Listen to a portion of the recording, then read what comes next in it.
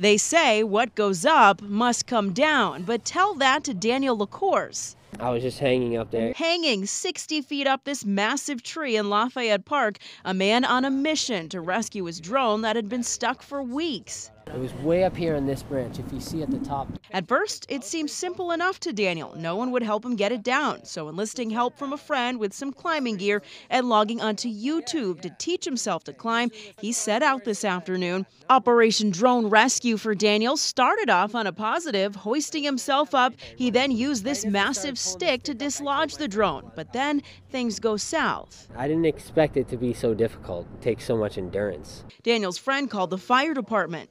Never a dull moment around here. Deputy Chief Michael Gamache was one of many who answered the call. He couldn't grab anything, he wasn't holding on to anything, he was just hanging on the rope. Panic set in when I couldn't feel my legs. Using this massive ladder truck, the fire department was able to secure Daniel's equipment and bring him back down to earth. Still flies great. Tonight, Daniel and his beloved drone are back on two feet. They did everything, a lot of things to make sure I was safe. No worse for wear, but a lot wiser.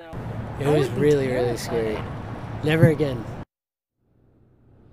Now, on a more serious note, firefighters say that if Daniel had fallen, he likely would have died, but as you just heard him say there, never again will he be climbing one of these trees. Live in Manchester, I'm Cherise LeClaire, WMUR News 9.